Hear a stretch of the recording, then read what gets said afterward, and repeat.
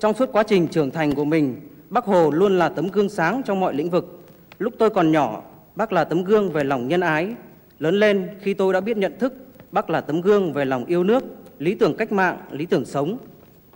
Trong học tập và công tác, Bác là tấm gương về ý chí phấn đấu vượt gian khó. Tôi vẫn thường nhắc lại câu nói của Bác với các em của mình.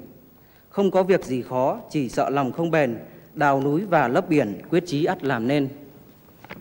Trong công cuộc xây dựng và bảo vệ Tổ quốc Việt Nam xã hội chủ nghĩa, tuổi trẻ Việt Nam đang nỗ lực phấn đấu với mong muốn kế tục xứng đáng truyền thống vẻ vang của các thế hệ cha anh. Tuổi trẻ Việt Nam đã, đang và sẽ phát huy tính trung kích của mình trên mọi lĩnh vực với mục tiêu xây dựng thành công sự nghiệp công nghiệp hóa, hiện đại hóa đất nước theo định hướng xã hội chủ nghĩa. Chúng ta sắp bước sang thế kỷ 21, thế kỷ của khoa học công nghệ, con người sẽ là khâu đột phá để chúng ta vững bước đi lên. Vì vậy, tuổi trẻ phải không ngừng học tập, phát huy truyền thống hiếu học của ông cha, rèn luyện đức, tài và sức khỏe.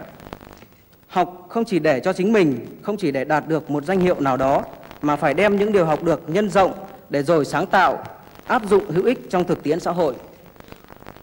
Chúng tôi nhận thức rằng đất nước mình còn nghèo, vì vậy mỗi thanh niên phải nỗ lực hoàn thành và hoàn thành xuất sắc nhiệm vụ xã hội của chính mình, không kể đó là nhiệm vụ gì, vì lao động là vinh quang.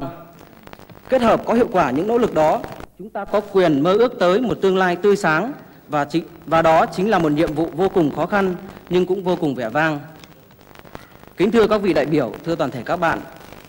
thời gian qua, qua các phương tiện thông tin đại chúng và các buổi sinh hoạt chính trị tại cơ sở, chúng tôi được biết chủ trương tiến hành cuộc vận động xây dựng và chỉnh đốn Đảng của Đảng ta thông qua nghị quyết 6 lần thứ hai của Ban chấp hành Trung ương Đảng khóa 8 và chỉ thị 34 của Bộ Chính trị về phát triển Đảng trong trường học. Trí thức trẻ chúng tôi từ lâu đã chờ mong điều này với mong muốn Đảng ta thật sự trong sạch, vững mạnh để lãnh đạo thắng lợi sự nghiệp cách mạng của nước ta. Và tôi nghĩ rằng chỉ có sự lãnh đạo của Đảng Cộng sản Việt Nam mới đem lại thành công cho sự nghiệp công nghiệp hóa, hiện đại hóa đất nước, tạo một cuộc sống ấm no hạnh phúc cho nhân dân và điều kiện thuận lợi nhất cho trí thức trẻ phát triển. Tôi tin chắc rằng thông qua cuộc vận động này, uy tín của Đảng sẽ ngày càng được nâng cao, vị trí lãnh đạo của Đảng sẽ càng được củng cố, nhân dân sẽ càng tin yêu Đảng và càng hồ hởi phấn khởi đi theo Đảng đến cùng. Là một chị, là một thanh niên trí thức được trưởng thành trong thời đại Hồ Chí Minh, tôi rất tự hào về Đảng của mình, về đất nước của mình. Do đó, tôi xin hứa sẽ cùng với các bạn trẻ trong cả nước tham gia tích cực vào việc đóng góp ý kiến xây dựng Đảng.